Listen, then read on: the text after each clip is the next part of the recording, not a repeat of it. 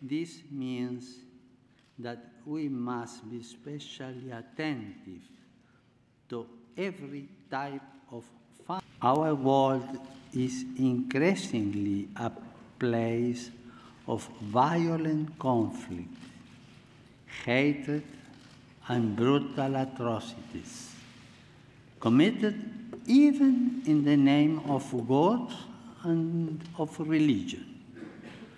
We know that no religion is immune from forms of individual delusion or ideological extremism.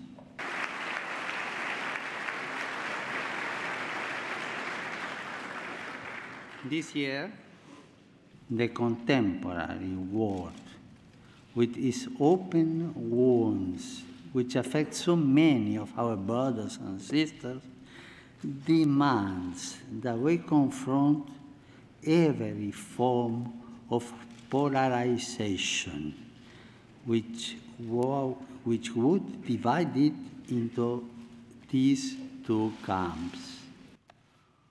All of us are quiet.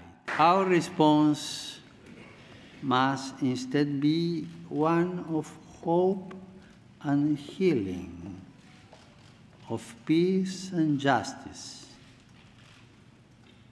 We are asked to summon the courage and the intelligence to resolve today's many geopolitical and economic crises.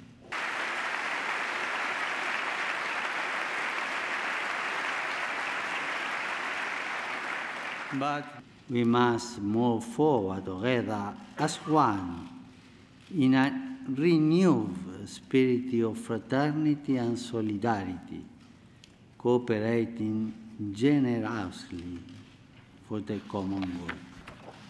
There is another temptation which we must especially guard against.